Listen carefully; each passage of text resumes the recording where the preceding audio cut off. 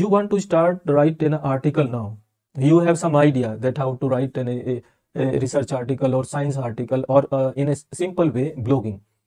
So my my suggestion uh, to all the students uh, those who are interested or also not interested but uh, want to do something.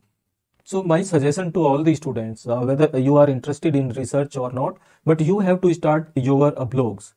And together this information equally important for the teacher nowadays actually what is going on that uh, video is equally publishing like a research article in the text. Got my point? Uh, मैं ये बोल रहा हूँ कि जैसे हम text related article को publish करते हैं similarly now it is some journal had started the they are publishing videos and in the next issues we will also publish the video with the so and this is one thing and uh, अभी student को ये बात समझ आए ना आए but regular researchers and teacher can understand this thing जो भी अभी मैंने कहा कि जो एक रेगुलर रिसर्च आर्टिकल हम टेक्स्ट की फॉर्म में पब्लिश करते हैं similarly we can publish the video in the journals and वो ट्रेंड हैज़ बीन स्टार्टेड अब दूसरा पॉइंट बोल रहा हूँ दूसरा पॉइंट क्या है? Publish the article in any journal you may have seen that the journal provide uh, some social uh, share links. On their website. Actually, you published your article on a specific journal. That journal have a website. And for each article, they provide a single page. Right? वो जो page है, वो आपके article का है, जहाँ आपका title लिखा है एब्स्ट्रैक्ट लिखा है रेफरेंसेज है एफिलेशन है नेम है and if the journal is open access so वो टेक्स्ट की जो बॉडी वो अवेलेबल है.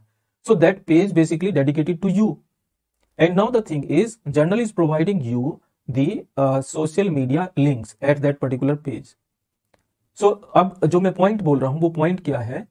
कि in addition to the citation social distribution how basically that article is disseminated among the society in terms of that how many times this article is share on the Facebook liked on the Facebook how many times it was basically tweeted on the Twitter और Reddit Reddit type of platform so all that information basically oh, there is one tool that is known as Plum X matrices tool or alt matrices tool of the dimensions.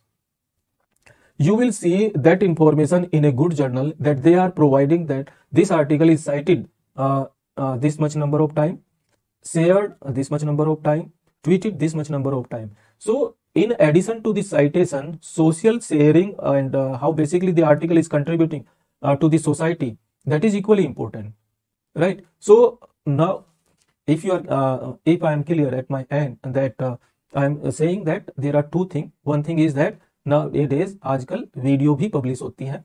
दूसरे point पर क्या बोल रहा हूँ कि जो आपका पहले ट्रेडिशनल जो आर्टिकल है उस आर्टिकल को सोशल मीडिया में कैसे शेयर किया गया वो इंफॉर्मेशन भी इक्वली इंपॉर्टेंट है और उसको बिब्लियोमेट्रिक स्टडी बोलते हैं। ये लाइब्रेरी के पर्सन जो है वो अच्छे से समझ सकते हैं। जो साइंटोमेट्रिक स्टडीज़ है बिब्लियोमेट्रिक स्टडीज़ है, उसमें अल्टमेट्रिक्स का कितना रोल है? तो not only citation of the research article how basically your article is shared on social media platforms are equally important